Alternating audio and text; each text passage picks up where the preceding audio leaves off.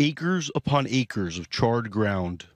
Over 300 incendiary kites sent from Gaza in the last month, wreaking havoc on Israeli border communities, setting hundreds of fires throughout the region.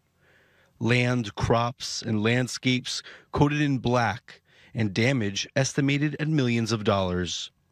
But for residents of these communities, there are fires and there are flowers, and the daily routine is not lost, maybe just temporarily disrupted. It's easy to say there's no one to speak to on the other side, so we continue to use force.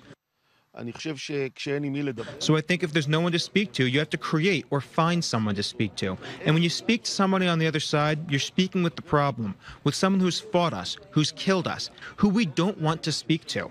But there's no choice. You have to speak to them. For residents of these communities, though, it's not only about kites and fires, it's about living in a state of conflict, from one spike in violence to another, an issue that some residents feel like needs to be dealt with differently.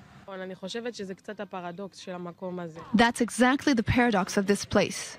In times of tranquility, you look around and everything's peaceful. You see only green, trees, and children running around at the pool.